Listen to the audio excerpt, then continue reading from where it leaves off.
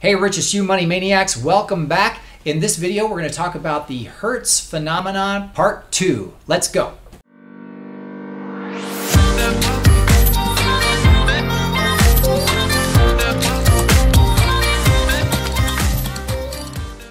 Hey, richest you money maniacs, welcome back. Tom coming at you. I'm very excited to give you this part two to the Hertz phenomenon that, phenomenon that has been happening. Phenomenon. Dee, dee, dee. Phenomena.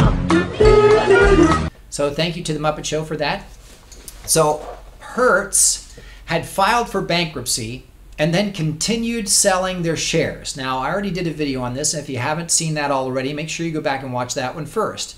Because what this video about is about is exactly what I said in the first video. That is illegal. Even Hertz was telling investors these shares that you're buying will be worthless. Why? Because they were in bankruptcy, which means any dollar that comes into the company goes to the creditors. And guess what? The reason they're bankrupt is because they owe their creditors more than the money that's coming in. So, as an investor, you're basically handing your money to Hertz, and Hertz is going, Gosh, thanks. Here, creditor. Okay, thanks for being so generous. Um, you're not going to get anything back for that, of course, because now they're going to strip us down and sell off parts to try and make the rest of the money that we owe them. See, that's the thing about bankruptcy. Usually, people don't want anything to do with a company that claims bankruptcy because they understand poor leadership, poor decision making, bad finances bad products maybe even. Don't go near them. Don't invest in them because in the future you will lose your money right? Not while they're in bankruptcy. We're talking about before bankruptcy even. If they say they're going to if any the word bankruptcy ever comes up price the price of stocks usually plummets. The world we live in right now is completely insane. There is no norm, no standard because the Federal Reserve via BlackRock is actually propping up the market to make it look like it's still functioning at all. And the fact of the matter is, it is not functioning. It is completely manipulated, it is completely cronyism, and it's ripping everybody off left, right, and center to the tune that it's in the news as major headlines, and yet still they get away with doing it. Now, here's the part two. The part two is that, oh, all of a sudden the SEC has decided to review their application to continue selling stocks. Hertz actually asked to be able to continue doing it. Well, of course they would because the creditors now run the company, and the creditors are thinking, well, if investors are stupid enough to invest in a bankrupt company, well, then fine, let's sell them the shares. They're not going to get anything back because they'll be worthless. We've told them that it'll be worthless, but okay, if they want to give us their money, that's fine. You know, this is exactly the same challenge that caused the indexed fund, uh, the, the, the subprime mortgage challenge in in 2008 nobody was doing their research now we're having the same kind of bubble with index funds they're bursting because no one is checking what kind of companies are in those funds they only look at how much money the fund makes this this is exactly the challenge with the investment world right now Everybody's lazy. You're just so lazy. I just want to click a button and, oh, this stock is going up. Oh, this stock's in the news. Hertz is in the news. That means more people will invest in them. I'm going to invest in them too. Completely illogical. They didn't read the headline. It says they're bankrupt. Their stock has no value. Oh, well, now everybody's lost their money to Hertz. And guess what's starting to pop up in the news now?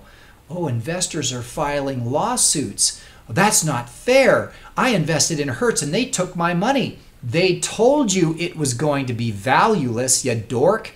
Now the SEC is stepping in. There are two articles listed down below in the, in the description. Make sure you go and you read them. And then follow this very closely. this is a really good example of how insane it has become.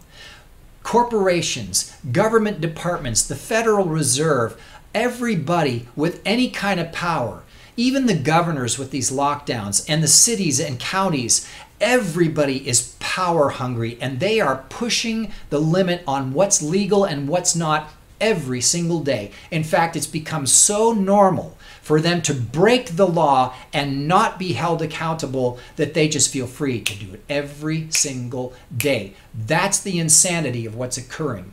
When you see it brazenly advertised in the, the headlines by media that should know better and should list it as being illegal, and advising people to steer away from it. Instead, the media is bringing attention to it because they know that will draw more people into the market is absolute insanity. You must learn to think for yourself. You must learn to do research. You must learn to find credible sources of information.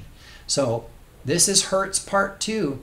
Just like I predicted, it is illegal to sell stocks for a bankrupt company. And now the SEC is finally getting involved. And they didn't even do it in writing. Read the article. They just verbally, orally let them know we're going to review what you're doing. We're going to review how you spoke to the investors. Very specific parts, almost as if they were kind of considering it, except it's illegal, and maybe people started getting pissed off that they would even consider it. So now they're trying to backpedal gently and, well, you know, we said you might be able to do this, but uh, it might cost us our job or maybe even create jail time for certain people.